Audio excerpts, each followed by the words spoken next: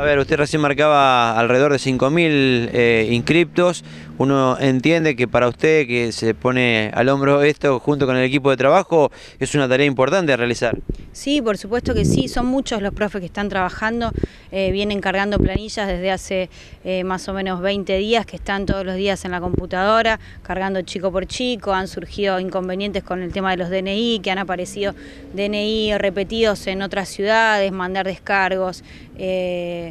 bueno, un montón de, pasos burocráticos que hay que, hay que, hay que hacer, que lo hicieron los chicos y bueno, ahora están trabajando con el tema de los fixtures, los sorteos, eh, conseguir las sedes, que eso siempre eh, le pedimos la colaboración a los clubes, el CEF, eh, tratamos de utilizar varios espacios para poder generar una competencia de la mejor manera, vamos a utilizar la cancha de beach volley acá, eh, vamos a hacer eh, seguramente en el Club Estudiantes, en el Club Quilmes la parte del básquet, en el CEP se va a hacer el vóley y bueno, así vamos eh, tratando de, poder llegar a hacer toda la etapa local lo más pronto posible porque por ahí nos toca una semana como la anterior con muchos días de lluvia y eso nos, modifica todo el cronograma. Profesora, ¿las disciplinas se mantienen las mismas que la pasada temporada? Sí, algunas se modificaron, en realidad se amplió, por ejemplo, el sextobol, eh, ahora va a estar sextobol 3x3, que el año pasado no estaba, se agregó una categoría libre en sextobol, que antes era solo escolar,